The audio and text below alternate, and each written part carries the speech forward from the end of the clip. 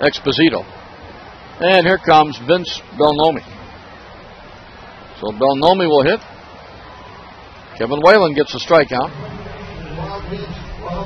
That's a wild pitch, though, on the strikeout, so uh, that was not the uh, fault of Luis.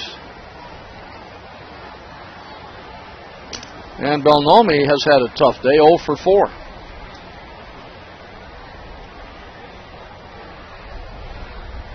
Here it comes from Kevin, way up high, ball one.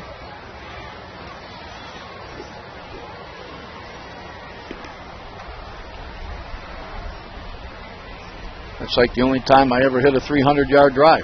It hit the cart path three times. I was going to say, did you hit it down a street?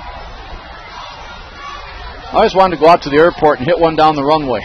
and just let it go. yeah. Let it go about 1,012 or whatever, 1,200 yards. I've hit a few 300 shots in my day. You have? I have. You're going by those old scorecard measurements, are you?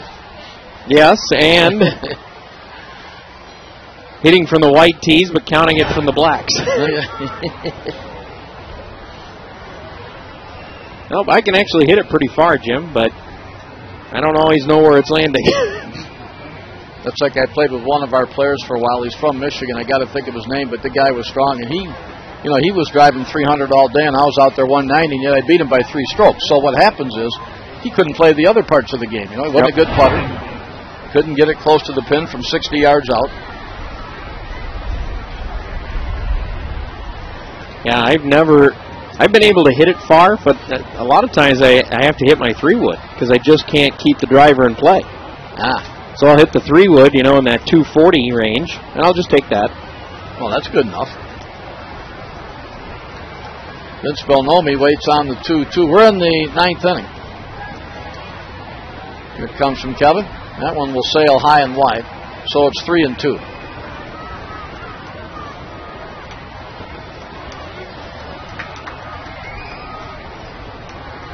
At second base, Mikey uh, who as we said, has had a big day. Two doubles, a single, a walk. He's been on four times out of five trips to the plate. Swing and a miss. And that was an excellent off-speed pitch from Whelan to strike out Vince Belnome.